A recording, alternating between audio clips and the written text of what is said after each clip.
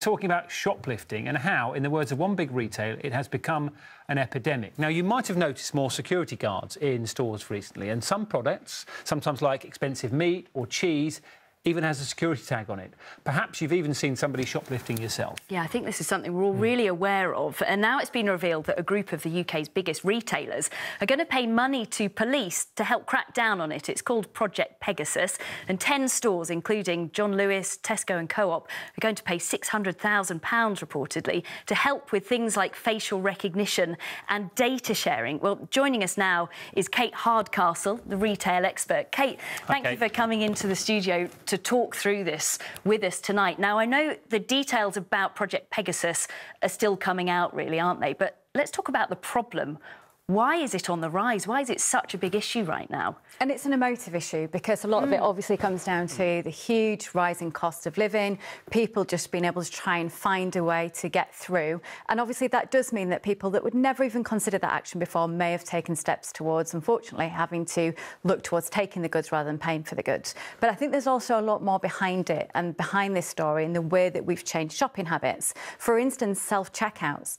They are always areas where we've seen higher levels levels of shrinkage, shoplifting. Mm. And that's because I think it is an area where you're not vigilant, uh, you're not being watched as much. Maybe some of it is intentional, but we also see what we call non-malicious taken at that point, whereas people just not following the rules properly, not yeah. understanding the system, technology is getting in the yeah. way. Yeah, and mm. and that happens. And I'll see you'll see more loss prevention measures put in there, where you'll see some of these barriers now where people want to check your receipt and check you've done things mm. thoroughly. So I think that's an element to the whole technology shift. There can be a lot of good and a lot of process removal in doing your own self-checkout. Time becomes an issue for a lot of us, and it removes some of the time pain. But there have been some issues with that. If they're going to pay uh, police to do this. What mm. and, and one of the issues is not enough staff on the shop floor. Mm. Why don't they just put more staff on the shop floor? Well, that's a big challenge, isn't it? Because I think when the staff have been on the floor, we've also seen a rise in uh, violence towards shop workers, abuse towards shop workers, and it's a really big ask to expect those staff members, as well as all of the other things they have to do within their job,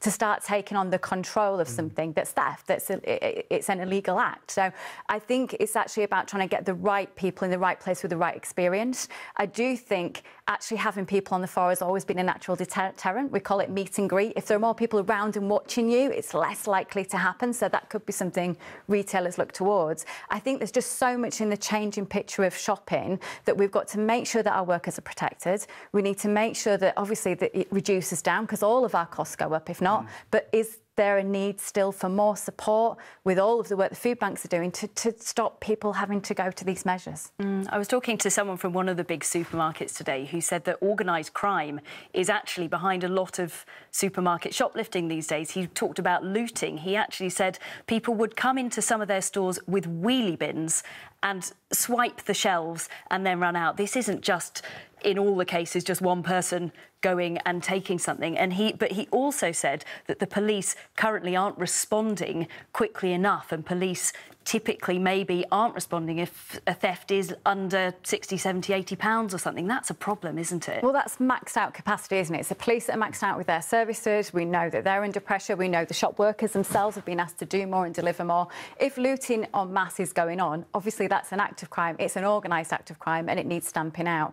But i think in the numbers there's a whole mix going on of people as i say who feel they've no other choice but also people that are unintentionally doing it. And i think until self-checkout and technology becomes an easier format to use, we need to also consider mm. that that could be happening. And it is a huge problem. The British Retail Consortium estimating 8 million crimes, which costs, they, they believe, a, a, billion pounds annually. It's an enormous issue, isn't it, right across the sector? Completely. And in organisations like grocery, you're not making huge amounts of profit on every item sold. So you will feel the impact of that as a shopper. They have to recover that cost somehow. And you can see when we've had actually food start to come down in cost, unfortunately, we're going to have to start maybe looking mm. at our price prices increasing if this isn't combated. And I think that's why we've heard that action today. And what you've got to hope is that the right support's put around the people that have to make these measures happen and put in place. Mm. And the right support, exactly, as well, for the people who are working in these stores and having to deal with it. Kate Hardcastle, really interesting talking to you. Thank you for coming on 5 News tonight. Yeah, thanks, Kate. We are here until uh, just before 6 o'clock tonight. Lots more to come your way.